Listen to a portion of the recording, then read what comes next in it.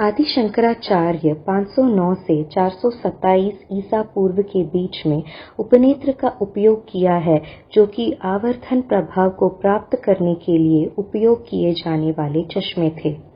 अपनी कृति अपरोक्षानुभूति, जिसका अर्थ प्रत्यक्ष अनुभव है अस्सी पहले श्लोक में शंकर कहते हैं जिस प्रकार सभी वस्तुएँ जो बहुत छोटी होती हैं, उन्हें लेंस के माध्यम से देखने पर बड़ी दिखाई देती हैं। उपरोक्त पाठ में उपनेत्र का संदर्भ यह स्पष्ट करता है कि किसी प्रकार के आवर्धक लेंस या चश्मे का उपयोग किया गया था। कुछ लेंस का उपयोग आँखों को बेहतर और बड़ा देखने में मदद करने के लिए किया गया था। इसलिए यह निष्कर्ष से कहा जा सकता है कि प्राचीन भारतीयों ने कम से कम 2500 साल पहले वस्तुओं को बेहतर तरीके से देखने के लिए चश्मे या आवर्धक लेंस का इस्तेमाल किया था। ब्रिटिश ईस्ट इंडिया कंपनी के एजेंटों को कुछ लेखकों द्वारा भारत में चश्मा पेश करने का गलत श्रेय दिया गया है। एक अंग्रेज़ी फर्म, केरिच बार्कर और मिटफोर्ड के 22 सितंबर 1616 सीई के एक पत्र में राजपूतना में अंग्रेज़ी चश्मे की धीमी बिक्री का संदर्भ है, जो उत्तर भारत में राजस्थान का आधुनिक नाम है। हिंदू साहित्य में चश्मे का उल्लेख इससे बहुत पहले मिलता है और कुछ मुगल लघु चित्रों में भी चश्मे का चित्रण किया गया है। देवनारायण 1344 से 1353 सीई के बीच, व्यासराय 1520 सीई द्वारा चश्मे का उपयोग दक्षिण भारत में चश्मा लेंस का स्वदेशी निर्माण उत्तर और दक्षिण भारतीय भाषाओं में चश्मे के लिए इस्तेमाल किए जाने वाले विभिन्न शब्द और अन्य ऐतिहासिक सभी तथ्य बताते हैं कि चश्मे का आविष्कार भारत में हिंदुओं ने किया था।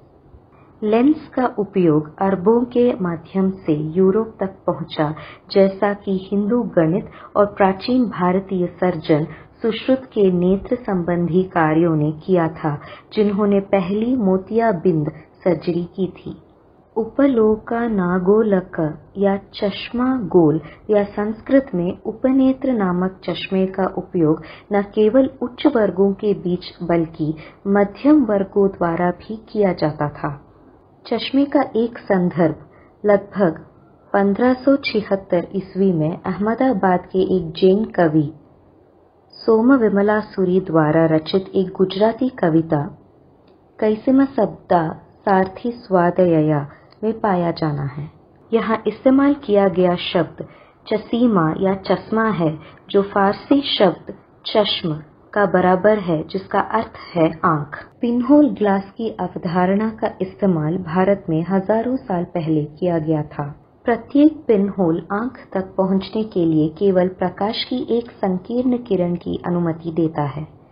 प्रकाश केवल आँख के लेंस के केंद्र से होकर गुजरता है। इसलिए, जब प्रकाश उस तरह से लक्षित होता है तो नेत्र लेंस का कोई दोष प्रभावी नहीं होगा। प्राचीन भारतीय बिना किसी दृश्य सहायता के हीरे को छोटे छोटे टुकड़ों में काटते थे। 1886 ईस्वी में दक्षिण अफ्रीका में खोजे जाने तक भारत दुनिया में हीरे का एकमात्र सोर्स था। तक्षशिला विश्वविद्यालय ने पड़ोसी देशों जैसे रूस, चीन, ग्रीस, थाईलैंड आदि के छात्रों को कांच बनाना सिखाया, जैसा कि वैदिक पुस्तक शतपथ ब्राह्मण में बताया गया है। शतपथ ब्राह्मण को शुक्ल यजुर्वेद की टिप्पणी के रूप में कम से कम तीन हज़ार ईसा पूर्व या उससे भी पहले लिखा गया था। अधिक जानकारी के लिए विवरण में लिंक पर क्लिक करें।